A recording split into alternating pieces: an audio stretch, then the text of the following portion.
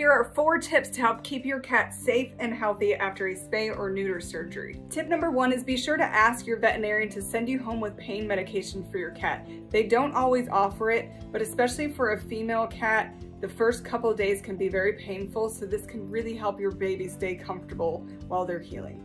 Tip number two is be sure you break up their meal after coming home from spay or neuter appointment into two or three small meals that night. Most likely they're going to be nauseous from the surgery, and this way it will help them to keep the food down and not vomit. And if you have a female cat who just got spayed, I recommend getting a surgery suit like this shirt and they'll have to wear it for a period of about seven to 10 days. Otherwise, if they're able to lick their incisions, they will often pull them out or get them infected.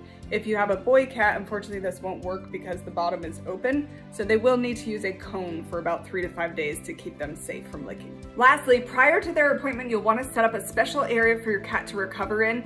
It should be an area where they can stay safe and not have any jumping because that can injure their surgery site. One of the best things I recommend is actually to borrow a cage or purchase a cage from someone and keep them in the cage where they are really safe, have their litter box and their bed, and there's no way they can jump or injure themselves for the first few days while they recover.